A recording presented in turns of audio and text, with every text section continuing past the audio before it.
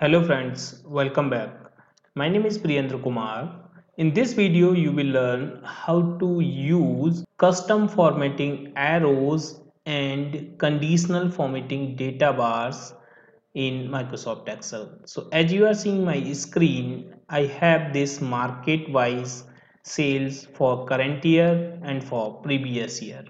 And here I have taken the variance and the variance percentage.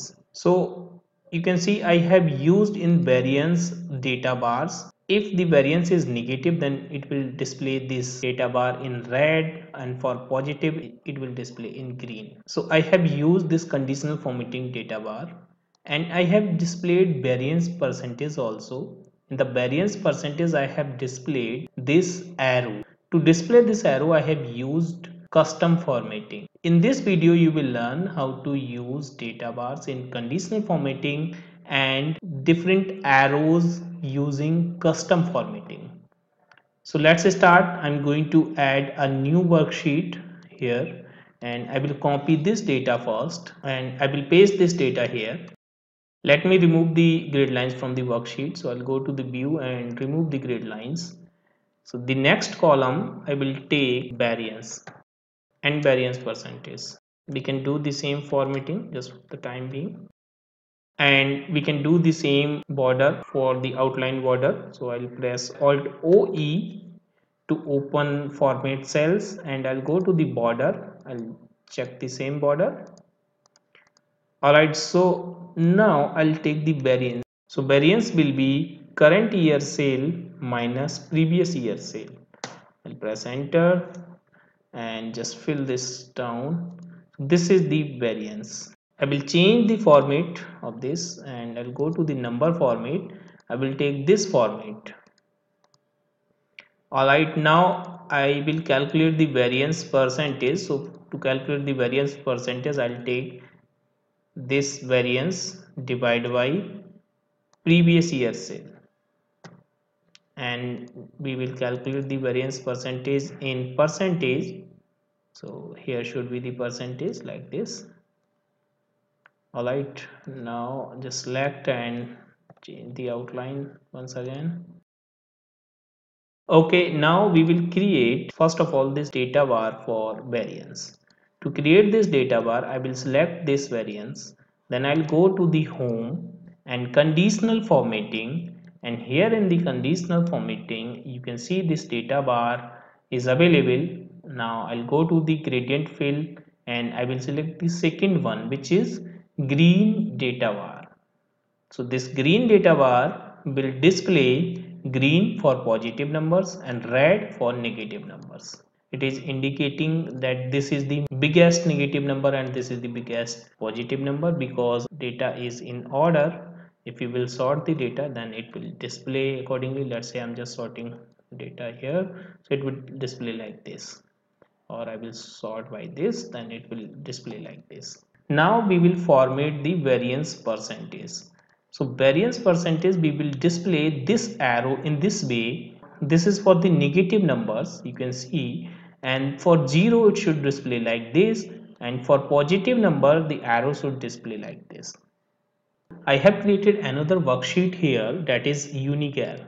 So I have taken the multiple UNICHAR characters here. This is the Unicode and here I have used UNICHAR formula and these are the Unicodes for arrow symbols.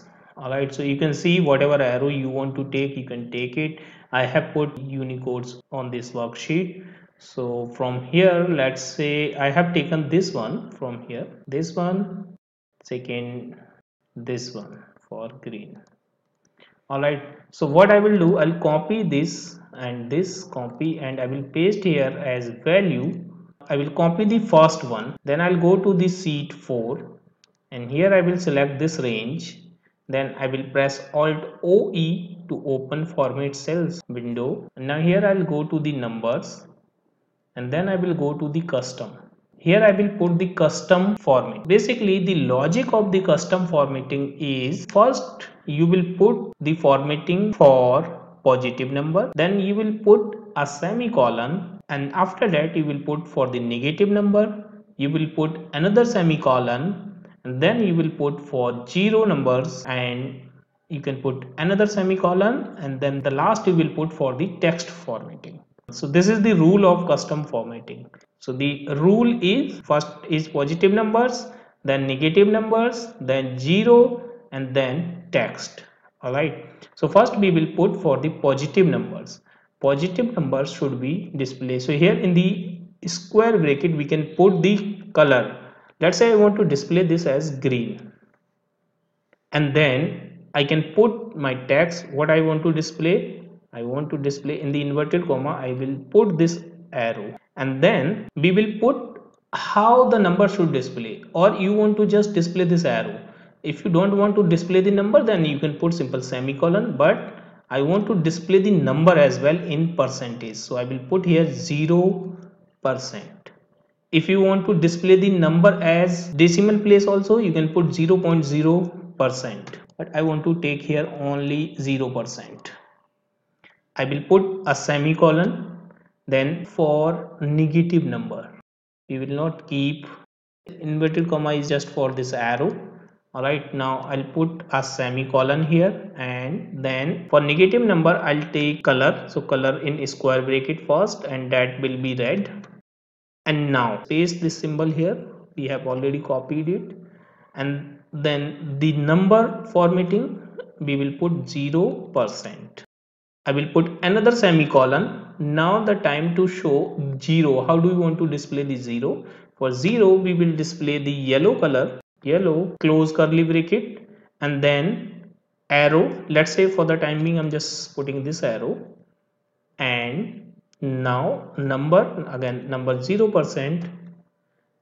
And you can put another semicolon for the text also but we don't want to show text here. So just remove this semicolon and click on ok.